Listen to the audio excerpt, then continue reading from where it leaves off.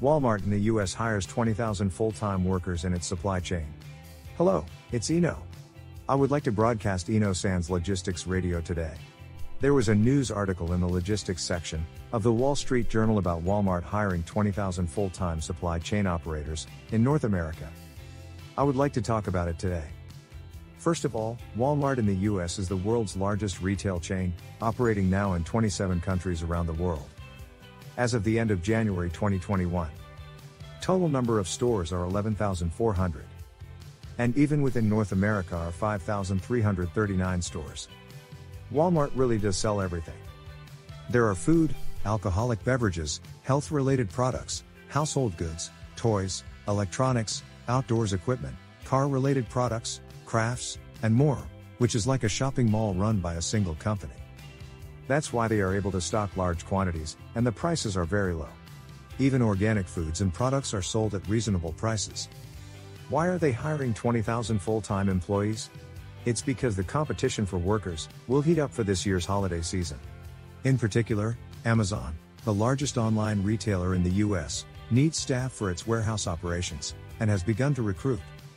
Normally, the company would hire seasonal workers, but this year's supply chain is expected large disruptions.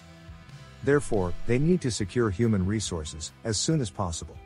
Generally speaking, trying to acquire human resources suddenly will lead to a big wage increase. This mass hiring will be a consideration of both operations and wage stability aspects. The 20,000 people who will be hired include Walmart distribution centers, fulfillment centers, transportation offices, order pickers, freight receivers, and forklift operators, who are office and warehouse operations people. The average hourly wage for Walmart supply chain staff is about 20 US dollars and 27 cents. In addition to it, they will offer a special bonus of 150 US dollars for corona vaccination and a bonus for the holiday season. I thought that was very generous treatment. You may have a strong image Walmart as a store, but since the spread of corona, the company has been focusing on e-commerce. Last year, the company hired 20,000 seasonal workers for its e-commerce supply chain. However, the growth started to slow down in the second quarter of this year. It is supposed that consumers returned to shopping in stores rather than online, because the vaccination was done faster in the US. Nevertheless, e commerce sales grew by 5.2% year over year, and they will need to keep up with the changes for the way consumers buy.